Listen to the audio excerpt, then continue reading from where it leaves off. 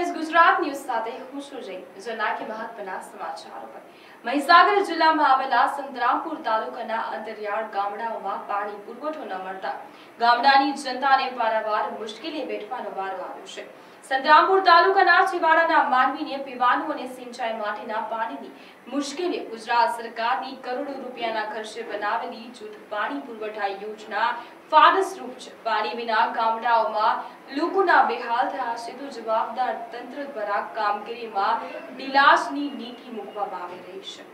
પાણી પુરવઠા યોજના સરકારનો બહુ સારો સંકલ્પ અને સારી સેવાભાવની ઉદ્દેશથી કર્યો છે. પણ આજે આ પાણી પુરવઠા યોજનામાં જ્યારે પાણી ટાંકી બનાવી ત્યારે આ ગામની અંદર પાણી જ નથી આવતું પહેલી વસ્તુ તો કડાણાનું. કારણ કે કડાણા નીચાણ છે ને આ વિસ્તાર ઉચાણ છે.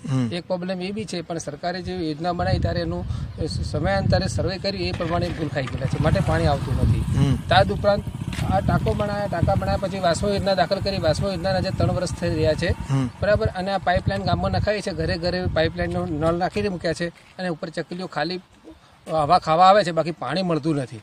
અને આજે બી ગામમાં કૂવો બી થયો છે વાસ્મા યોજના અંતર્ગત. પણ એનું મોટર કૂવા મૂકી રાખી છે.